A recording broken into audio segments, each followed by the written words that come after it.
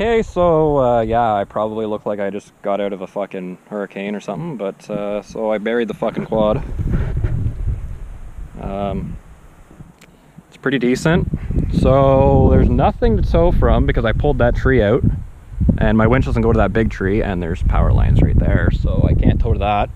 So I have the winch go going over the bumper, around the headlight, and over there to a guy wire. And maybe that'll pull me out. I don't know. The only guy, guy out here though, so who knows.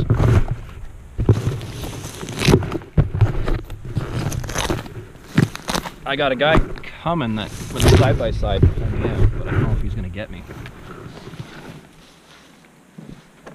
It'll be a hard pull, I know that.